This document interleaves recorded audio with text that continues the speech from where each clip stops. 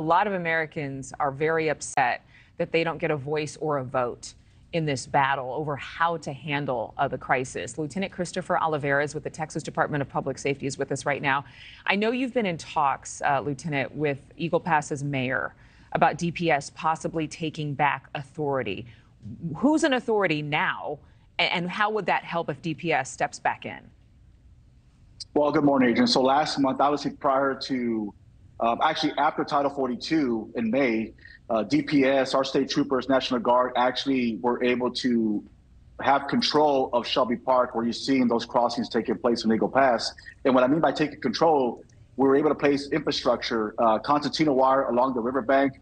We had boots on the ground, state troopers, National Guard that were manning the area within a six mile radius of Shelby Park. And we were able to stop the flow of some of those crossings that were taking place. But most importantly, we were able to arrest illegal immigrants that were trespassing through the concertina wire um, or other state violations, single males and single adults. I mean, sorry, single adult females and single adult males that were able to arrest for state criminal charges. Now, with that, that sends a message that there is a deterrent in place that if you do come across and violate state law, you will be arrested. Last month, the City Council of Eagle Pass rescinded the authority to where we can no longer, as a state, a, state agency, make arrests at Shelby Park for state violations. So with that, that's what you're seeing right now in these last couple of days, where you see a massive influx of illegal immigrants coming across. Because without those tools to take enforcement action, there's no deterrent uh, measures in place to prevent illegal border crossings. And that's why we continue to see this influx taking place in Eagle Pass. Predominantly in those groups are single males and single females.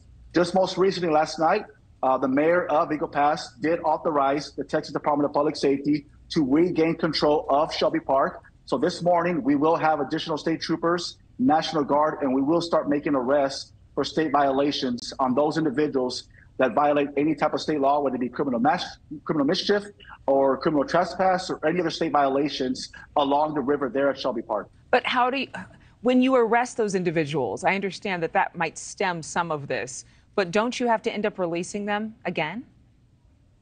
Well, we don't release them. So they go through the whole state system, the whole court, the court, the whole court process. Once they're done with their case, once their case has been adjudicated, we then turn them over to ICE officials. Mm-hmm. So we do not release them into the city or into the streets. They are turned over to federal agents. And then from that process, there's either a removal proceeding or whatever the case may be. So obviously, once in the hands of federal agents, we no longer have responsibility of those individuals. But they do go through the whole court system, the, the process in the state of Texas.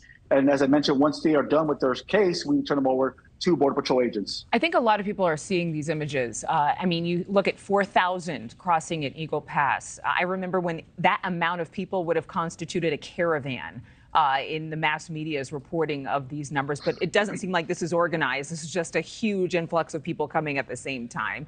We're seeing 2,000 people cross every single day this week in San Diego.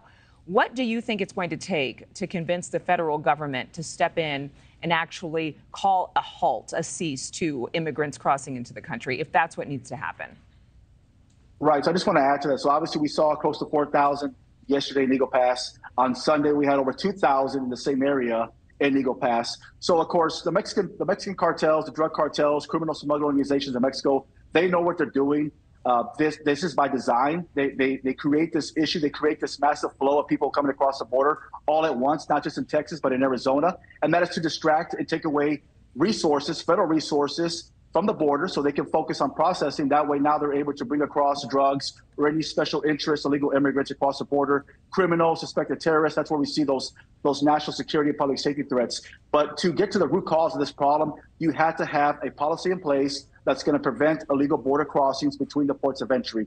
Crossing between the ports of entry is not an authorized um, area or an authorized um, uh, you know situation where you can claim asylum. There has to be a process in place. There has to be consequences. You cannot just allow people to cross women and children between the ports of entry and then release them and give them a notice to appear two, three years from now. That's not going to solve the problem. That's going to create a much larger problem in the future where now you're going to have millions in the country they're not going. They're not going to deport them. They're not going to have any type of removal proceedings because it's going to be too late. It's going to back up the system uh, as far as asylum claims. And those that have been in the country right now that are doing it the legal way, they're at the back of the line now. It creates a much larger problem for those individuals that are trying to do it the legal way. So again, You got to have a policy in place that's going to stem that flow, prevent those unauthorized crossings, and have consequences in place. Thank you for watching. Go to newsnationnow.com to find News Nation on your television provider. And don't forget to click the red subscribe button below to get more of News Nation's fact driven, unbiased coverage.